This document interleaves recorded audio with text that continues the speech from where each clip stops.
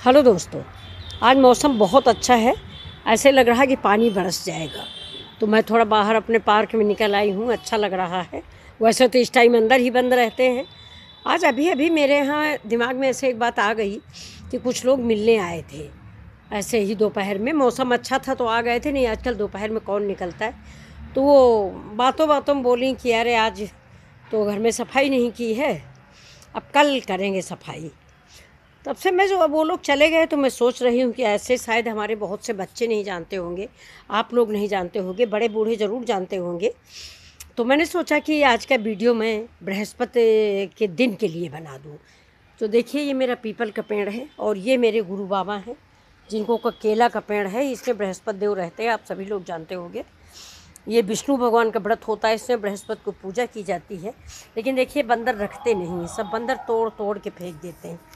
तो ये देखिए मेरा पितु मतलब वो लोग चले गए तो मुझे दिमाग में आया कि मैं आप लोगों को बताऊँ शेयर करूँ कि मेरे बच्चे हैं, बड़े, बूढ़े भी हो सकता बहुत से लोग नहीं जानते होंगे या नहीं मानते होंगे, लेकिन प्लीज़ आप मानिए।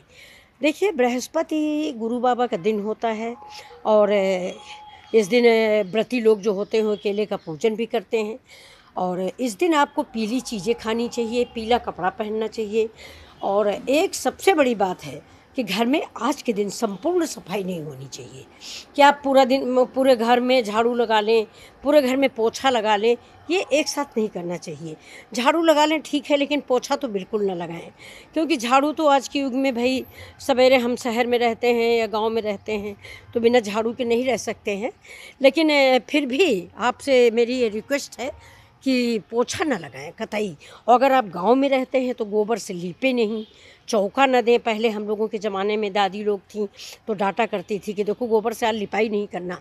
आदमियों को डांटती थी अपने नाती पोतों को, हमारे पिता उता जी को, कि आज दाढ़ी नहीं बनवाना, बाल नहीं बनवाना तो न दाढ़ी बनवाना चाहिए, न बाल बनवाना चाहिए।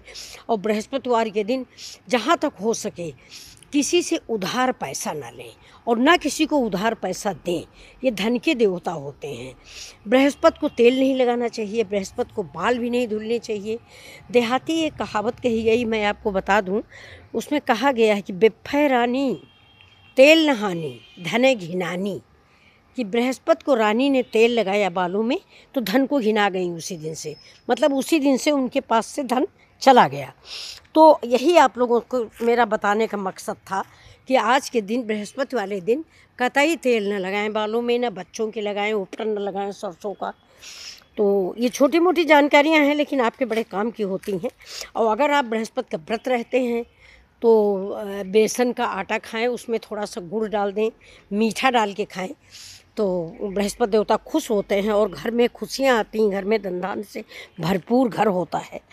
तो आप लोग ये बात ध्यान रखें कि आज बृहस्पति वाले दिन न दाढ़ी बनाएँ और ना तो साबुन का इस्तेमाल, पहले ज़माने में तो कपड़ा हम लोग धोबी को नहीं डालते थे कि आज बृहस्पति है भाई, कपड़े नहीं डाले जाएँगे धोबी को, नहीं तो दादी गुस्सा हो जाएँगी या बृहस्पति देव गुस्सा हो जाएँगे।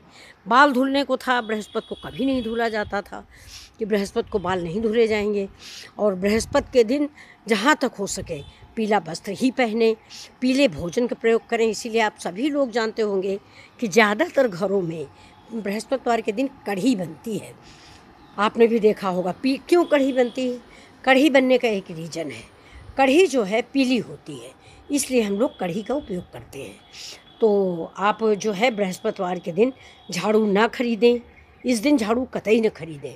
और अगर घर में टूट गई है, उसे फेंकनी है तो भी बृहस्पति के दिन ना करें। हैं, बृहस्पति धन के देवता होते हैं। और ये बात तो आज सभी जानते हैं, हमारे बच्चे, बूढ़े सभी, कि भाई धन युग है, अर्थ युग है। और एक बात और भी है, कब अर्थयुग नहीं था, हमेशा से अर्थयुग रहा है? अर्थयुग तो हमेशा से रहा है। पहले भी आप याद करिए, जिसके पास पैसा है, उसी की वैल्यू होती थी। हैं? उसी के बच्चों को ज़्यादा परिवार में प्यार मिलता था, उसकी पत्नी को ज़्यादा प्यार मिलता था। तो पैसे का युग तो जन्मों से है। तो बृहस्पति देवता जो हैं, वो गुरु हैं मतलब देवताओं के, वो धन के भी देवता हैं। तो आप लोगों से, मेरी बहुओं से, बेटियों से और बच्चों से भी रिक्वेस्ट है कि दाढ़ी नहीं बनवाएँ। बृहस्पतिवार के दिन बुध की रात में बनवा लें और या फिर बृहस्पति और शुक्र को सवेरे बनवा लें। और जहाँ तक हो सके साबुन का प्रयोग न करें, कपड़े धोबी के यहाँ धुलने ना दें। अब कहा जाता है ऐसे कि आप ऐसे करें तो बृहस्पति देवता खुश रहते हैं। और जो व्रत रहते हैं वो सवेरे उठें, सवेरे छः बजे तक, सात बजे तक, कहा जाता है पाँच बजे का स्नान, अमृत का स्नान होता है, फिर दूध का होता है, आठ बजे का स्नान, पानी का होता है, उसके बाद का स्नान कहा जाता है, खून का होता है। तो आठ नौ बजे तक स्नान कर लें, पूजा करें बृहस्पति देव की।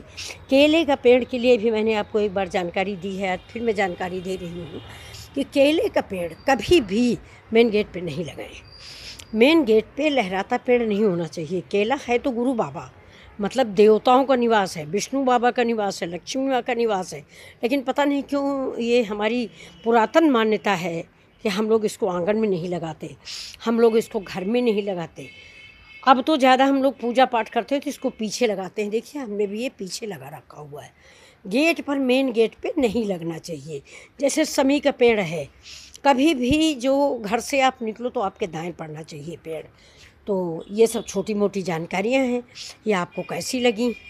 और नहा दो अगर आप बृहस्पति का व्रत रहते हैं, सवेरे नहाइए, छः सात बजे तक नहा लीजिए, नहा के पूजा करिए, हल्दी डालिए तो उसमें क्या कहते हैं, जल में थोड़ा सा गंगा जल डालिए, चना की दाल डालिए, है, पीले वस्त्र पहनिए और केले पर जल चढ़ाइए, विष्णु भगवान से अपनी गलतियों की माफ़ी मांगिए और अपने बच्चों की रक्षा के लिए व्रत रहिए।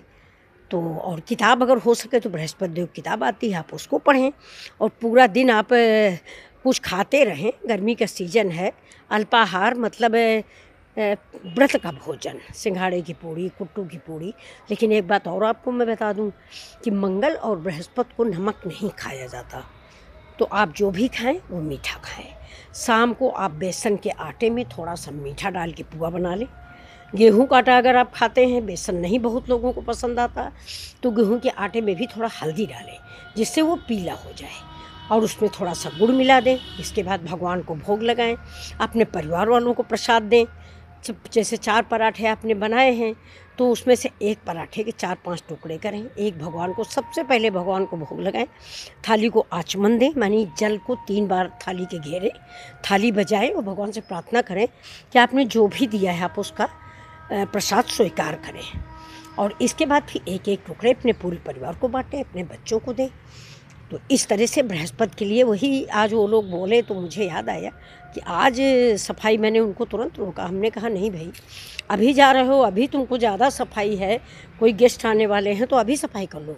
लेकिन कल बृहस्पति है, कल बृहस्पति को एकदम से झाड़ू पोछा बेडशीट के कवर, सोफे के कवर, पर्दे के कवर एकदम से सफ़ाई नहीं करनी चाहिए कि पूरे घर का कोना कोना ना बचे और हम सब साफ़ पर डालें। ये बृहस्पति को नहीं किया जाता। तो आपको मेरा वीडियो कैसे लगा? मैं ऐसी ही जानकारियाँ आपको और दूँगी। नमस्कार। दोस्तों प्लीज़ लाइक एंड सब्सक्राइब करें। मैं मिथिला जी की दुनिया से। नमस्कार बच्चों।